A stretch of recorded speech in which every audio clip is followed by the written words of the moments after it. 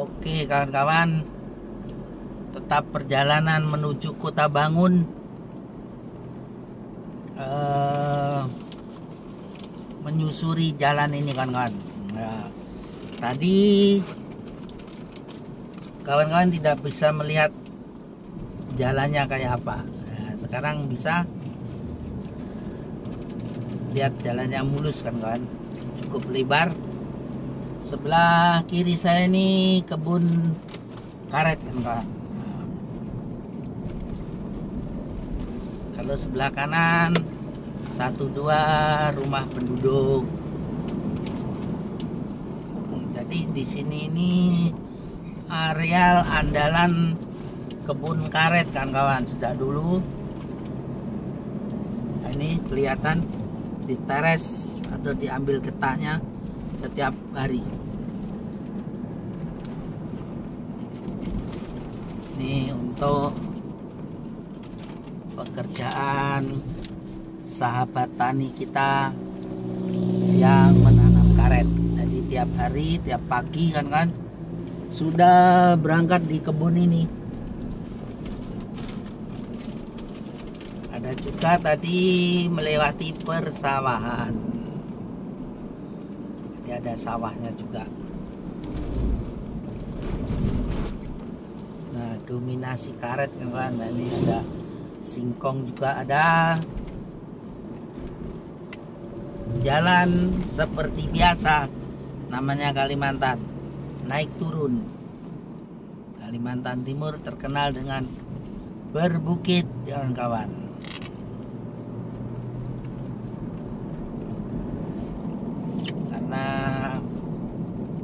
banyak tambang di daerah sini.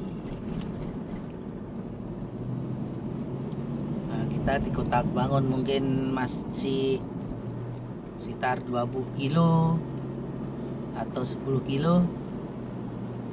Kita nikmati perjalanan ini kawan-kawan. Nah namanya kota bangun. Aslinya itu bukan kota kawan-kawan baru kecamatan cuma namanya Kota Bangun. Jadi kecamatan Kota Bangun gitu kan nama asal mulanya itu Sri Bangun. Oh nama asal mula kata Mas David ini Sri Bangun, Sri Bangun. nah itu.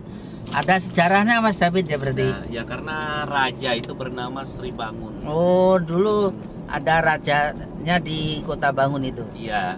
Hmm, daerah kerajaan Mas David daerah ya kerajaan masih hmm. kerajaan Sri Bangun Oh, kerajaan Sri Bangun ya? Iya. Oh, ternyata kota Bangun itu ada sejarahnya kawan-kawan.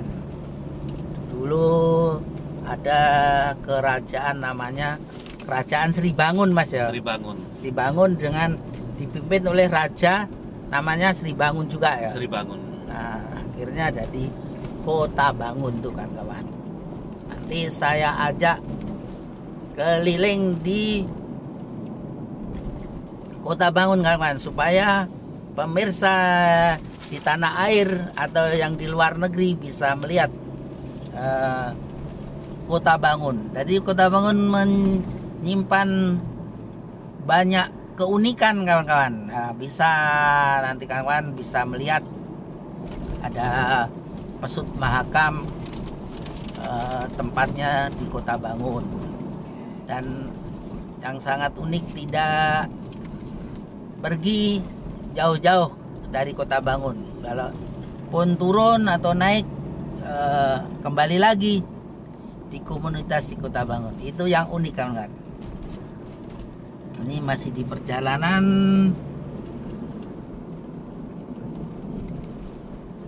Nah ini jalannya menikung naik biasa daerah sini kan kan. Daerah perkebunan dan pertambangan. Jadi tanaman-tanaman keras sangat cocok di daerah ini kan kan. Seperti durian nangka cebeda nah, dan lain-lainnya. Ini tetap karet andalannya dulu tapi sekarang mungkin ada perubahan sahabat tani kita melirik ke sawit kan kawan. Nah seperti depan ini. Karena sawit bisa panen dalam seminggu dua eh, bulan dua kali kan kawan kalau sawitnya bagus. Nah itu maka sahabat tani kita kadang-kadang beralih ke sawit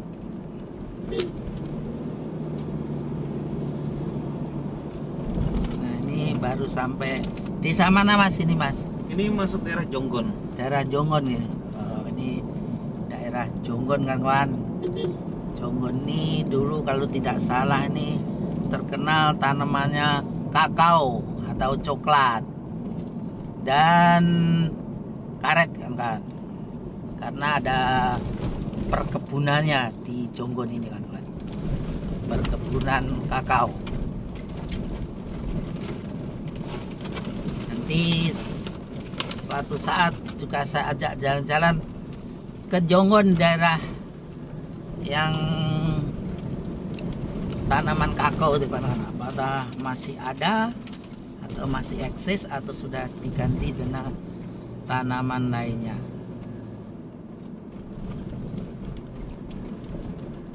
Ini lagi perbaikan jalan kan kawan jadi jalannya buka tutup.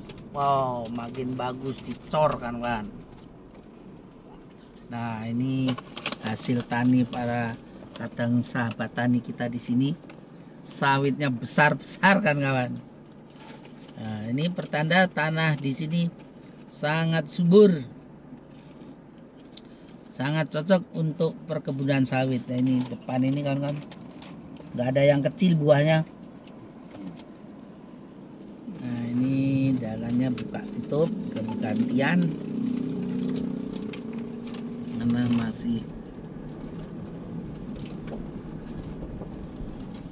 diperbaiki. Nah masih dicor kan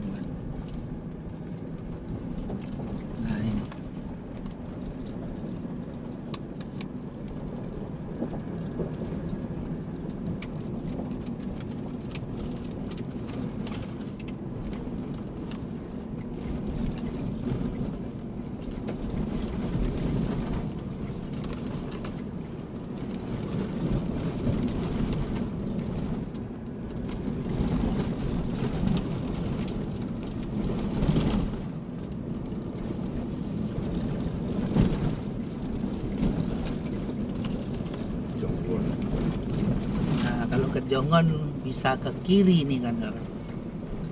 Tapi Ke kita kiri tembusnya ini anu. ke mana nih mas? Ke, Eh, mana ya Balikpapan itu nah, apa sih? oh ke kiri. Eh, itu Ke kilometer 38. hmm, daerah Balikpapan. Oh, berarti tembus lewat sini. Sepaku, Sepaku. Oh sepaku. Iya, Sepaku. Ber- oh berarti Ibu kota yang baru titik nolnya dekat sini juga. Oh itu kawan-kawan kata Mas David asli orang Kutai kawan-kawan. Kata beliau dari Simpang 3 Se- Jonggon tadi kawan-kawan. IKN sangat dekat dari sini. Nah, jadi IKN itu juga termasuk Kutai Kartanegara Mas ya. Iya, benar. Nah itu kawan-kawan Sebagian memang masuk daerah itu Ada juga yang masuk eh, Penajam Pasir Utara Nah itu ternyata Lewat Jonggon itu kan kawan Jalan tembusnya nanti Ke ibu kota baru. Indonesia Nusantara namanya kawan. Sudah sangat cocok. Tinggal ini mulai dibangun sama pemerintah. Mungkin dari titik nol sana kan kawan nanti mungkin minggu depan mau meluncur ke sana melihat titik nol itu oke sampai sini dulu